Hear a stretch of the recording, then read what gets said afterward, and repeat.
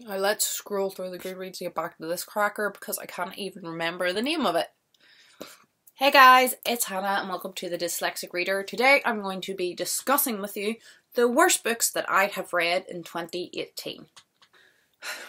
I'm not going to show you actual physical copies of any of these books because three of them were from the library, so I don't have them anymore. One of them is my boyfriend's and it is downstairs and I don't want to have to go downstairs to get it because I forgot to bring it up with me. And the other one is in this massive pile of books, which is books that I have read but don't want to keep and need to be donated. And it's right here on the bottom and I do not want to have to lift all those books. So we'll just do with cover pictures for this video. These are in no particular order, these are just five books that I thought were absolutely rubbish. They were books though that I didn't DNF, that I stuck through to the end, hoping that they would be good because I had been told they had been good or I was somewhat invested to find out how it would end, but they were just terrible. Um, the first one is not going to get me a lot of love, but it was The Hitchhiker's Guide to the Galaxy by Douglas Adams. This is the boyfriend's book. this was so bad. Like, I know, I know I've heard it's one of these Marmite books, you either love it or you hate it, but like, I hated it. Like, it was so bad. It didn't make sense. It wasn't funny. It was hard. I just did not get any aspect of it. I didn't find it enjoyable, funny, meaningful, easy to read. It was just a slug. The only thing it had going for it was it was short, but it could have been shorter. it just wasn't good. I'm not going to have a lot to say about these books because I just disliked them all. The next one, again, no order, was Shade Those Laurels by Cyril Connolly. That is the pale green book that you see down here. It was a cheap buy. I thought it sounded interesting. It was a serialized um, murder mystery that was written in the 40s and never finished. And then this guy went back and finished it. It was crap. It read like a serialized rubbish installment in a cheap magazine, which is what it was. The writing was horrible. None of the jokes made sense because it was written as a contemporary when my grandparents were children. So like they were talking about, oh, Mr. Such and Such did this. And probably Mr. Such and Such was the finance minister or something at the time. But I had no clue who they were talking about. Had no clue what was going on most of the time.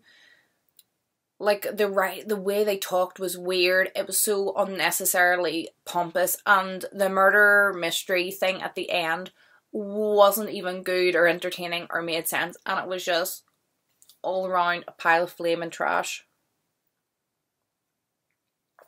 I should have made tea so I could have been sipping tea. Hindsight.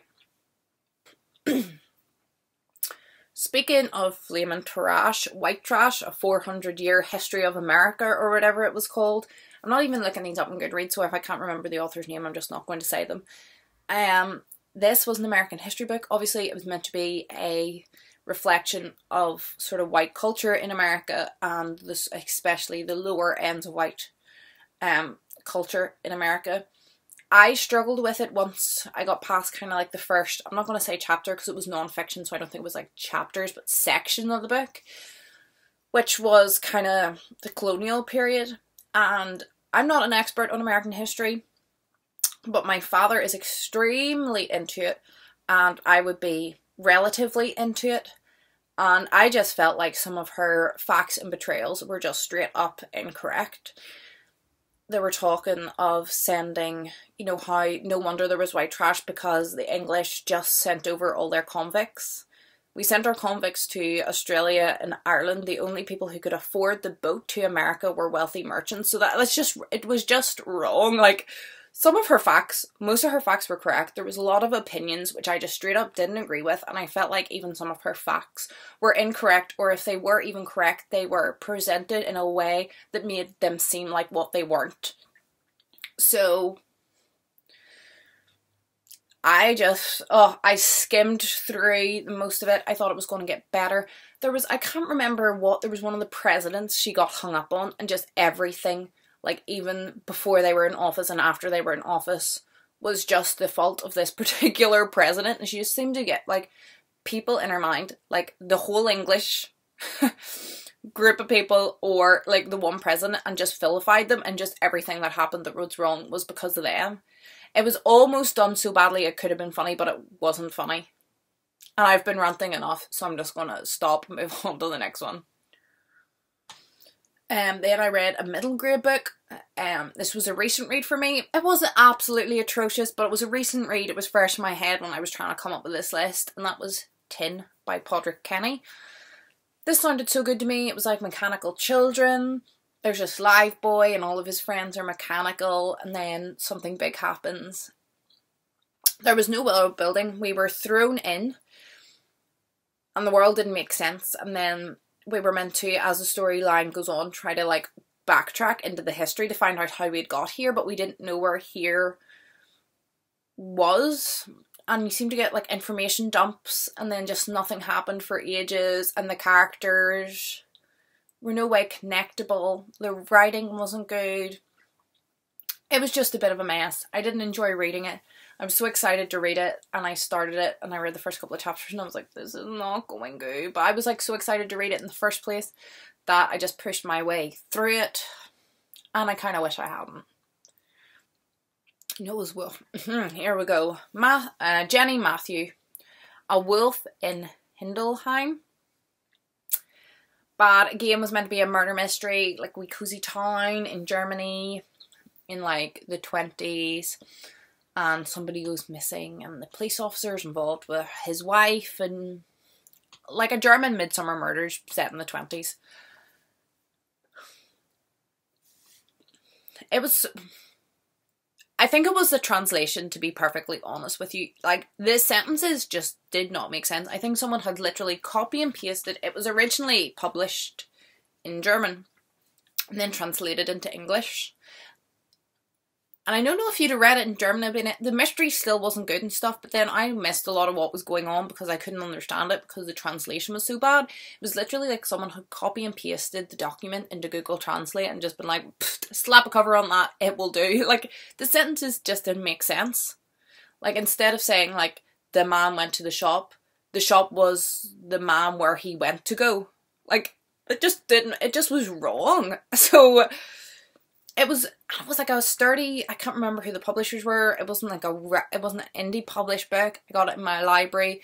It was published by a big publishing house. Like it was a well made book. It seems to have been a big seller in its native language. You know it obviously was big enough to get translated.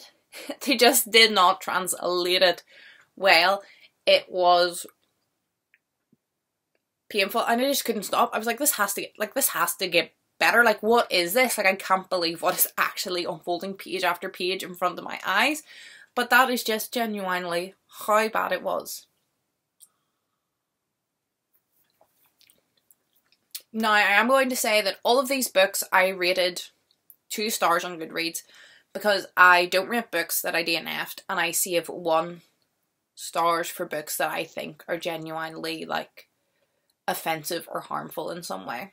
Because I feel like, you know, just because I didn't really like it doesn't mean that someone else would hate it.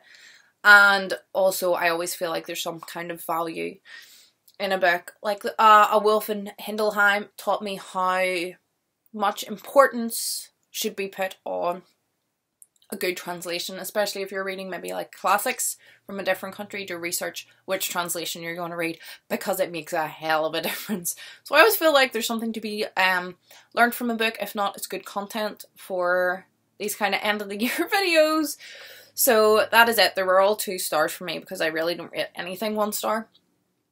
That's pretty much it. Comment down below and tell me your worst books of the year because I would love to look them up and just see like what the other reviews on stuff on Goodreads is, and also know to avoid them because I've heard some reviews on booktube over the year of like big hype books that were very negative so that would be interesting to me. Not that I necessarily read hype books but it's interesting always when something is so hyped and then people don't like it.